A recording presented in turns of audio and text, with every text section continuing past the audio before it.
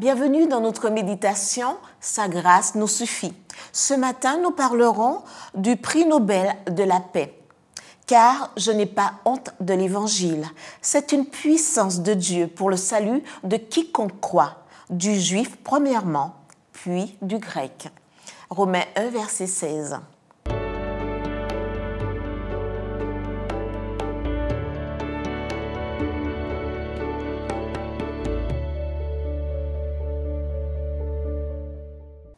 Quelle est l'origine de l'Évangile? Le point central de l'Évangile est Jésus-Christ. Paul l'appelle l'Évangile du Christ, Romains 15, verset 19. L'Évangile de Dieu, Romains 1, verset 1. L'Évangile de notre Seigneur Jésus, 2 Thessaloniciens 1, verset 8.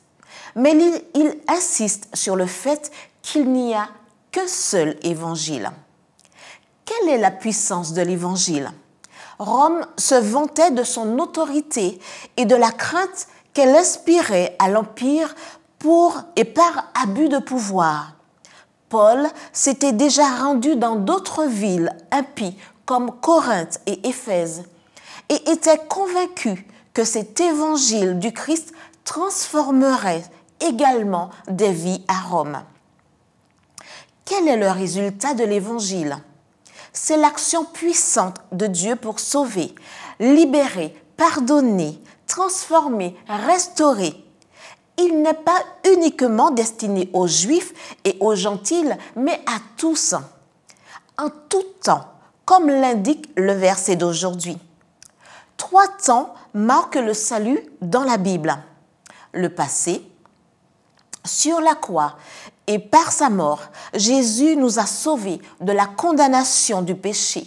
Le péché nous condamne à mourir, mais la mort du Christ nous conduit à la vie. Le présent, il nous sauve de la culpabilité du péché lorsque nous nous repentons et confessons nos fautes, et il nous accorde la paix de son pardon. Le futur, quand le Seigneur reviendra pour établir son royaume définitif, il nous délivrera de la présence du péché. Les choses anciennes sont passées. Voici, toutes choses sont devenues nouvelles. 2 Corinthiens 5, verset 17. La puissance de l'Évangile libère et sauve elle affranchit de l'esclavage, de l'obscurité, de la perdition et de la complaisance, de l'ignorance spirituelle et délibérée.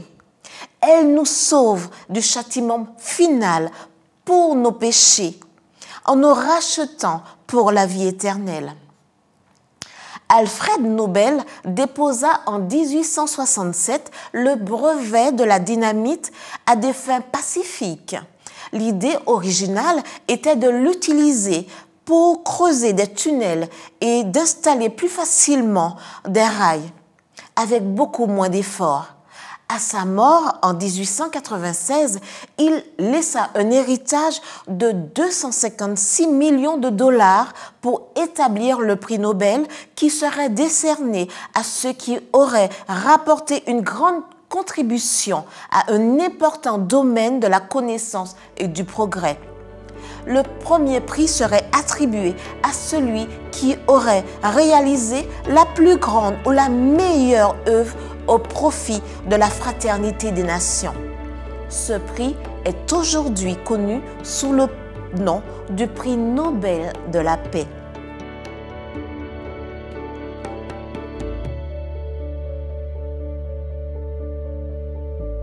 L'évangile est la puissance de Dieu qui dynamite nos péchés.